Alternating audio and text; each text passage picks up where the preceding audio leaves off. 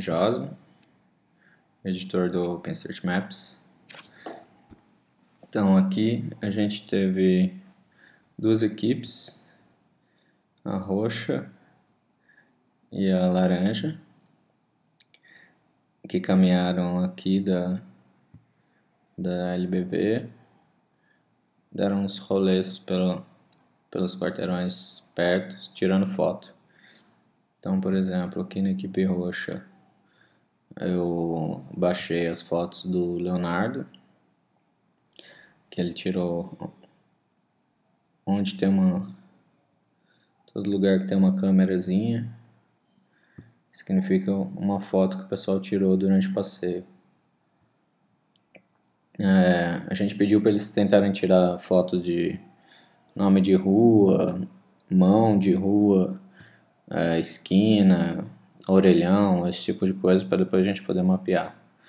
Então essas aqui são as fotos que o Leonardo tirou com a câmera dele. Você vê aqui, por exemplo, que dá para ver que nessa esquina é a esquina da Sergipe com o Monsenhor Siqueira, por exemplo. É, aqui no caso, essas fotos eu já ajustei o timestamp delas para bater com, com o traçado do GPS. É, eu tenho uma opção aqui que chama Correlate to GPX, né?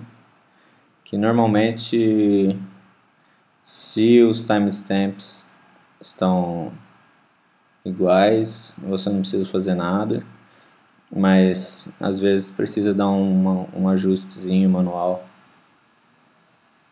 que você mexe aqui, ó, tá vendo que mexe lá? É, eu nem lembro como que tava esse aqui. Acho que tá certo. Dá um cancel aqui. Aí você vê que o Leonardo ele andou até mais ou menos aqui. É, aqui é uma esquina, né? Espero que esteja certo. É, Alagoas com Minas. Então, essa aqui deve ser a rua Alagoas e essa menor, essa que eles andaram mais é Alagoas e a menor é Minas. Hum, isso aqui é bem útil para na hora de traçar por cima. Não sei o que aconteceu, que a foto dele foi lá para cima. Aí aqui a gente vai fazendo isso com todas as fotos, né? Essas aqui são as fotos que o Reinaldo tirou. É, aí aqui na equipe laranja, as que eu tirei com a minha máquina. E o fato de eu estar tá vestindo o GPS no pescoço é, significa que essas estão batendo a posição mais certinha, né?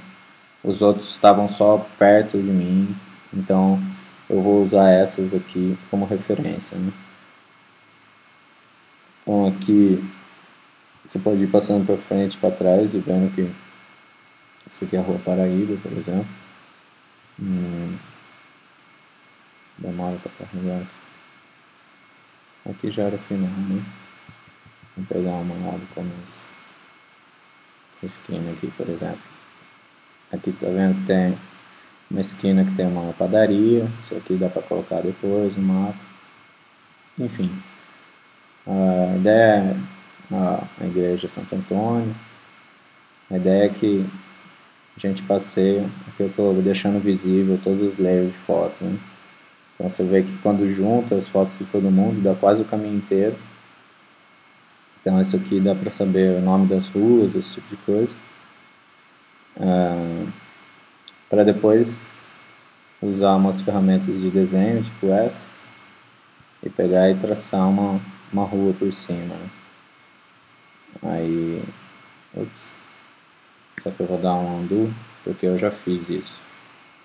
Isso, olha lá, já tracei essas ruas. Uh, e uma vez, então isso aqui foi o que a gente fez na oficina do, da LBV. Tá vendo que dá para colocar os pontos de interesse. Aqui eu sei que tem um orelhão, porque tem uma foto que me, uma dessas fotos aqui me mostra que tem um orelhão. Deixa eu dar um zoom lá.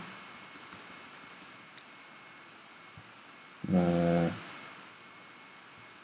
Aqui, ó, esse restaurante Saborearte, por exemplo, que está aqui, eu me baseei nessa foto que está ali.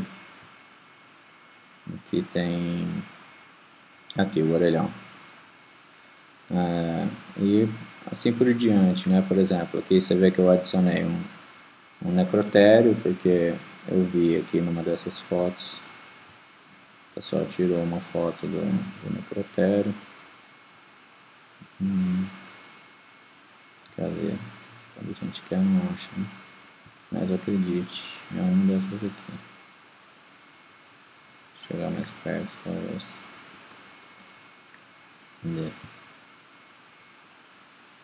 Orelhinho. Necrotério, ó. ó. Então, nem sei se está no lugar certo, mas isso aqui depois qualquer um pode arrumar. Então, o orelhão que estava na outra foto ali.